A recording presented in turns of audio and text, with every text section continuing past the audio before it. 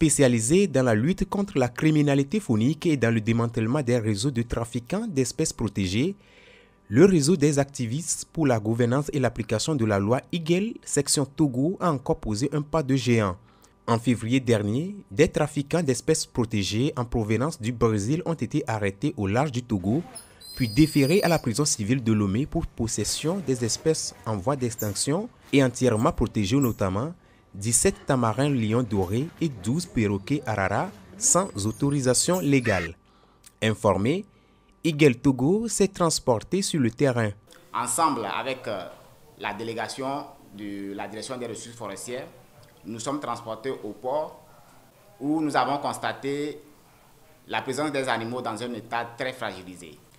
Nous avons immédiatement, au sein de l'équipe Eagle Togo, affecté un membre de l'équipe qui devrait permanemment s'occuper et prendre soin de ces espèces en vue de pouvoir assurer leur suivi et voir dans quelle mesure les autorités pourront rentrer en contact avec les autres organes de gestion CITES, notamment du Brésil, mais, aussi de la Guyane, pays dont les trafiquants citaient l'origine des, espèces.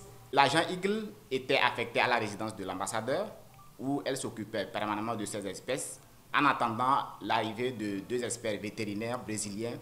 Nous avons aidé à mettre les en contact avec l'organe de gestion CITES de la Guyane pour les vérifications qui a révélé que cet organe n'avait pas émis un permis CITES pour ces espèces. Nous avons également vérifié au niveau de l'organe CITES du Bénin, pays de destination sur les permis, et là-bas, il s'était également révélé qui n'avait pas émission d'un permis CITES d'importation. Et la société qui devrait recevoir ces espèces au Bénin, les autorités nous ont eh, signalé que cette euh, société n'est qu'une société fictive qui n'existe même pas dans le répertoire de leur registre. Nous avons, devant les instances judiciaires, engagé un avocat qui devrait défendre les intérêts du ministère de l'Environnement dans ce dossier et les frais pour cet avocat étaient à la charge de Eagle Togo. Bonne nouvelle, les 17 tamarins lions dorés et les 12 perroquets arara séjournent depuis le 24 février au Brésil. Ils ont été conduits pour ce qui concerne les tamarins lions dorés dans l'état de Rio de Janeiro. Pour ce qui concerne les perroquets arara, ils sont conduits dans un centre également de quarantaine au niveau de Sao Paulo. Ils seront également suivis et pour être évalués après un moment et être mis dans leur milieu naturel. En rappel, Eagle est un réseau international présent dans neuf pays de l'Afrique de l'Ouest et du Centre.